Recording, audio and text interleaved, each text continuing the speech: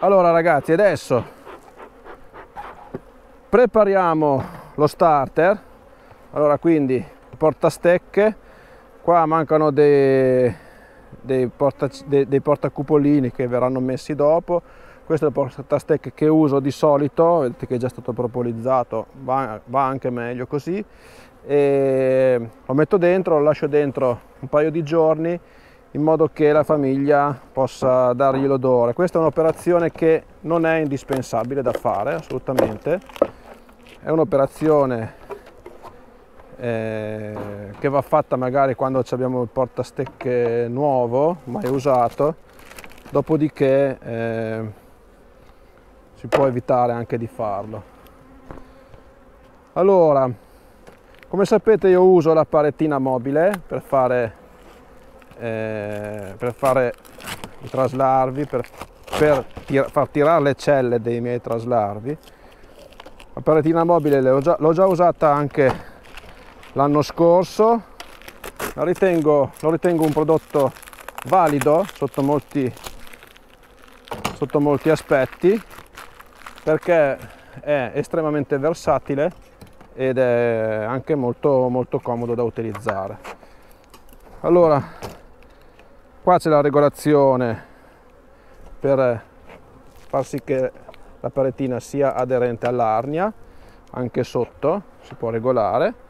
L'anno scorso io ho nastrato lo scudo di regina lasciando solo una finestrella libera parlando con i ragazzi che lo producono mi hanno detto che non è necessario nastrare che le celle vengono tirate ugualmente. Io lo uso sia per eh, far tirare le celle nel, nello starter. Lo uso sia per fare il blocco di covata quindi eh, confino la regina eh, dentro nel nido utilizzando la paretina. E ci sarebbero altri, altri mille modi. Ad esempio su una cassa eh, scarsa potrei farci, far andare avanti una famigliola e far fecondare una regina. Quindi si mette davanti all'arnia alla porticina questa che è la porticina magnetica. C'è la possibilità di farlo diventare un diaframma e c'è la possibilità di farlo diventare un nutritore l'idea che c'è dietro a questo prodotto è quella di utilizzare di sfruttare eh, al massimo lo spazio che abbiamo dentro l'alveare. Io lavoro su 8 quindi abbiamo due posizioni libere. C'è chi lavora addirittura su 6 o su 7, quindi hanno più posizioni libere. In questo modo qua si può fare un mini nucleo dentro una cassa insieme alla famiglia e cercare di sfruttare eh, la sinergia della, del numero di api. Quindi l'idea che c'è dietro è molto molto valida, eh, le attrezzature ce le abbiamo, ma molto spesso non sono utilizzate al meglio. Allora, veniamo a noi. Cosa vuol dire nucleo starter? Allora io opero in questa maniera qua, adesso vi, do, vi dico come faccio io, vi do i consigli che utilizzo io per fare eh, tirare le celle.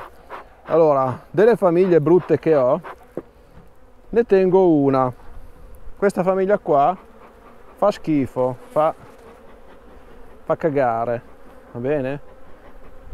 La regina fa schifo perché come vedete siamo ormai sotto a caccia e cosa fa?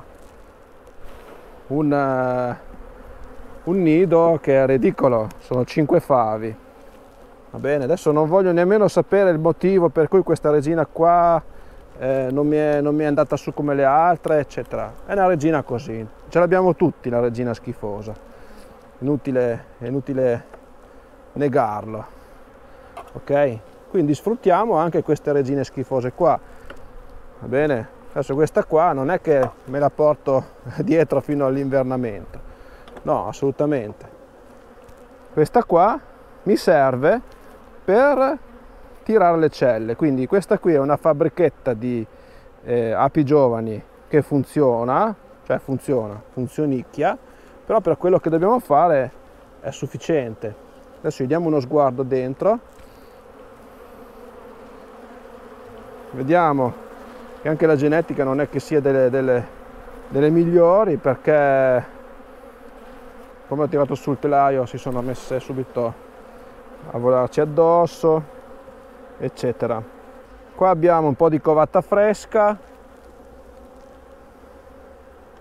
Addirittura io ho lasciato su il telo perché aveva detto che metteva brutto e per non farle raffreddare io ho lasciato su addirittura il telo qua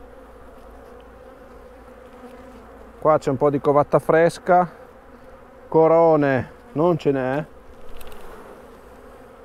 Insomma eh, l'ho messa su 5 favi ma questa qui non, non, non, non, ne lavora secondo me di più di 5 è una famigliola che addirittura ha c'ha dei cupolini nonostante sia, sia messa così. Vabbè, questa famigliola qua mi va bene così finché faccio tirare delle celle. Ok? Quindi questa reginetta qua mi fa nascere delle api, gli api giovani che a me servono per tirare le celle. Non è una regina che chiede più spazio di questo quindi mi va bene perché sta lì nella sua parte senza andare a invadere la parte invece che sarà quella dedicata allo starter ok? Vedete che è molto scarsa. Se volevo assicurarmi che non fosse orfana ma non, non dovrebbe essere orfana. Fa proprio, fa proprio schifo di suo. Lo sapevo l'ho tenuta apposta. Allora anche qui abbiamo della covata mista. Eccola qui la regina. Sembrerebbe anche una bella regina vista così. Eh, ma quello che ci può dare è questo. Eccola là. Bella regina sembra anche grande ma non vuol dire nulla. Allora a noi serve una, una regina che ci dia api giovani. Ok questa qua ci dà 4 3 4 telaie di api giovani. Il ricambio ce l'abbiamo perché lei continua a fare il suo lavoro continua a covare per quello che può. Fa la sponda c'è un po' di miele adesso pochissima roba.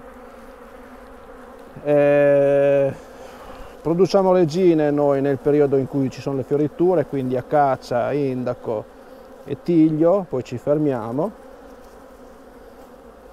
E questo è quanto. Benissimo. Allora adesso inseriamo la palettina allarghiamo al massimo allarghiamo al massimo anche sotto che non voglio che mi scappi. Adesso prendiamo la misura. Vedete che copre chiude bene qua chiude bene qua. Adesso noi chiudiamo da una parte dall'altra. Facciamo scendere in maniera più precisa possibile la palettina. Ecco qua adesso facciamo scendere la parte di sotto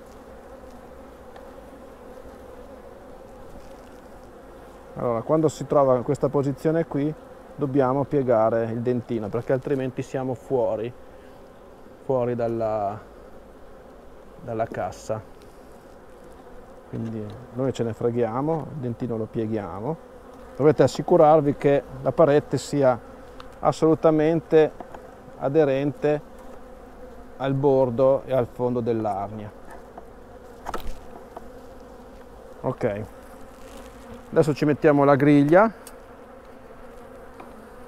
così, così la regina resta a lavorare dalla sua parte. Vediamo che magari non sia caduta qua. Quindi la regina rimarrà di lì. Mettiamo lo starter qua adesso lo starter rimane qua per qualche giorno. Poi io torno fra un paio di giorni con Elena a fare i traslarvi. Allora facciamo così due e questo il nutritore rimane sempre. Allora cosa succede? Io torno fra un paio di giorni vengo a fare traslarvi quindi faccio gli innesti prendo le larve le metto dentro ai portacupolini e metto il, il, il portastecche proprio in questa posizione. Dopodiché faccio lo scambio, questi due telaini qua vanno nel nido e dal nido prelevo i due telaini con più covata fresca. Questo serve per richiamare le nutrici da questo lato, altrimenti rimarranno di là. Ok? Quindi succederà che io porto di qua due fave di covata fresca. E dopodiché aspettiamo che la covata sfarfalla, ovviamente c'è da fare il giro ogni settimana come scellatura, eh, in periodo di sciamatura. Si vengono a scellare anche queste due fave qua di covata fresca perché essendo da questa parte potrebbero tirare celle, anche se di solito non lo fanno perché le tirano già qua. E andiamo avanti così, ok? Quindi i due favi saranno scambiati periodicamente di qua e di là. Covata fresca la portiamo da questa parte, le api giovani arrivano, trovano le celle innestate e compieranno il lavoro.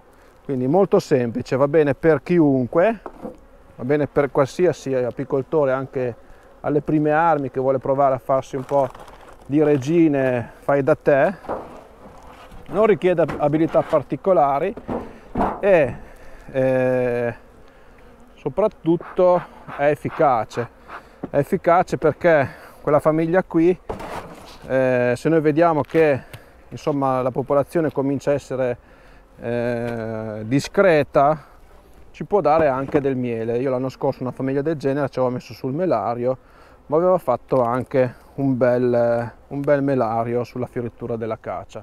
Eh, io adesso vado avanti con le visite, spero che il video sia stato interessante e utile per voi, che vi abbia dato dei buoni spunti.